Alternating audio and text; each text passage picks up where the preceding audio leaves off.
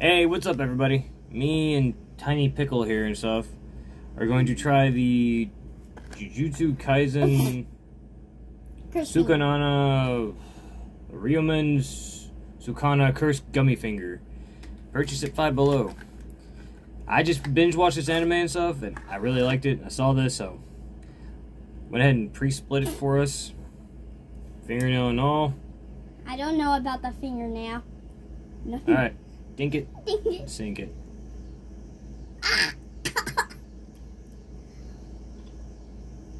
I'm gonna, I'm gonna break my tooth.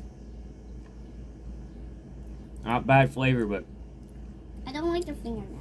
Too crusty, musty. fingernail's not bad. The gummy is pretty thick. Really hard to break a tooth. Ah. Because of the cursed finger, I'm okay. No demonic presence detected. That's pretty good you can get past the, the texture. It's really hard. Well, that's our taste test. Thanks for watching.